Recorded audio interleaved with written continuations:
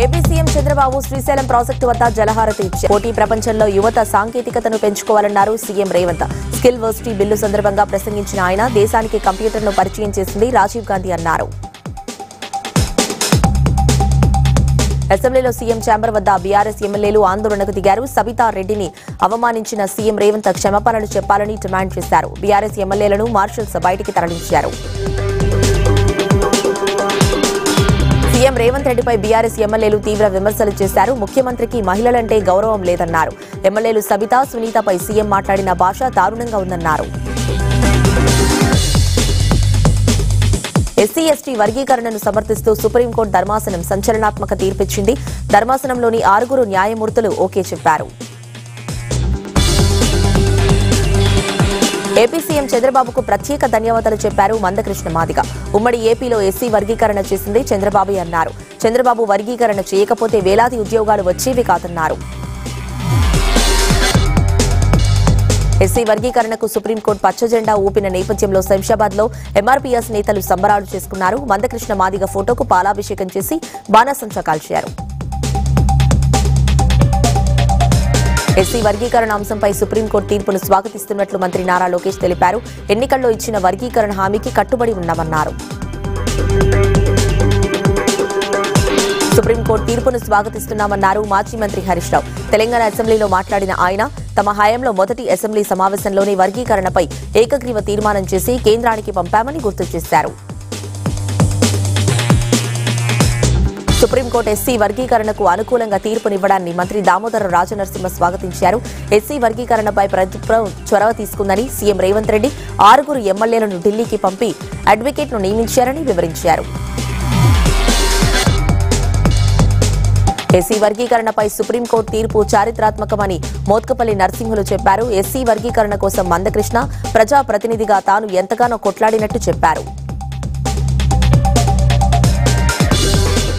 SC ST రిజర్వేషన్ల ఉపవర్గీకరణపై supreme court వెలువరించిన కీలక తీర్పుపై TDP senior నేత డొక్క మాణిక్య వరప్రసాద్ స్పందించారు. గత ముప్పై ఏళ్ళుగా వర్గీకరణపై చేస్తున్న పోరాటం నిజమైందన్నారు. ఎస్సీ వర్గీకరణపై అత్యున్నత న్యాయస్థానం సుప్రీంకోర్టు తీర్పును స్వాగతిస్తున్నామన్నారు సిపిఐ ఎమ్మెల్యే కూనమనేని సాంబశివరావు. తెలంగాణ అసెంబ్లీలో దీనిపై మాట్లాడిన ఆయన మొదటి నుంచి సిపిఐ వర్గీకరణకు మద్దతు ఇచ్చిందన్నారు. ఎస్సీ వర్గీకరణపై సుప్రీంకోర్టు తీర్పును స్వాగతిస్తున్నామని సిపిఐ జాతీయ కార్యదర్శి నారాయణ అన్నారు. ఇన్నాళ్ళు మాదిగలకు అన్యాయం జరిగిందనేది వాస్తవమన్నారు. Gadwal MLA Bandla Krishnamohan Reddy U turn తీసుకున్నారు. నన్ను న్యాయమూర్తి సోమవారానికి వాయిదా వేశారు. సోమవారం ఇరు పక్షాలు తమ వాదనలు ముగించారని కోర్టు సూచించింది. జగిత్యాల జిల్లా వెల్లటూరులో బీఆర్ఎస్ నేతలు రాస్తా రోకో నిర్వహించారు. సీఎం రేవంత్ రెడ్డి వ్యాఖ్యలను నిరసిస్తూ ఆందోళన చేశారు. వారిని అదుపులోకి తీసుకున్నారు పోలీసులు. జీవో నలభై ఆరును రద్దు చేయాలని డిమాండ్ చేస్తూ హైదరాబాద్ దిల్సుఖ్ నగర్లో కానిస్టేబుల్ అభ్యర్థులు మెరుపు ధర్నాకు దిగారు. ప్రధాన రహదారిపై మెట్రో స్టేషన్ కింద బైఠాయించారు. ప్రభుత్వానికి వ్యతిరేకంగా నినాదాలు చేశారు. రామకుప్పంలో వైసీపీ ఎమ్మెల్సీ భరత్కి నిరసన తెగతగిలింది రామకుప్పంలో ఎమ్మెల్సీ భరత్ను గ్రామస్తులు అడ్డుకున్నారు. భరత్ గో బ్యాక్ అంటూ నినాదాలు చేశారు. దర్గమిట్ట దగ్గర సీఐ అడ్డుకున్నారు. దీంతో సీఐ ఎమ్మెల్యే కోటమిరెడ్డి శ్రీధర్ రెడ్డి మధ్య తీవ్ర వాగ్వాదం చోటు చేసుకుంది. ధర్మవరంలో కేతిరెడ్డి అవినీతి పాగోతం బయటపెట్టిన టీవీ కు ప్రత్యేక కృతజ్ఞతలు తెలిపారు మంత్రి సత్యకుమార్. జగనన్న ఇళ్ళ పేరుతో రైతుల నుంచి భూసేకరణ చేసి ఆ భూమిని ప్రభుత్వానికి అధిక ధరలకు అమ్ముకొని రైతులకు నష్టపరిహారం ఇచ్చాడన్నారు.